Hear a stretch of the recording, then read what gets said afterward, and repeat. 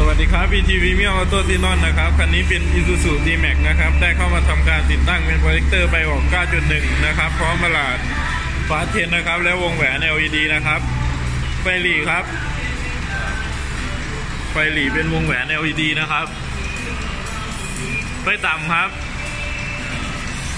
สูงครับ โปรเจคเตอร์ทุกตัวจากทางร้านเป็น bi-xenon สูงต่ำในตัวนะครับ เรามาชมแสงหน้าตัวรถกันครับานฟิล์มนะครับ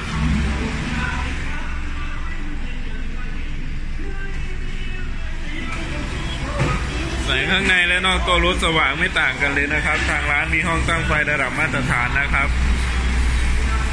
สนใจติดตั้งชิ้นงานดีๆเนียนๆติดต่อทางเพจ Facebook VT Premium Auto Xenon ทุกสาขานะครับ ขอบคุณครับ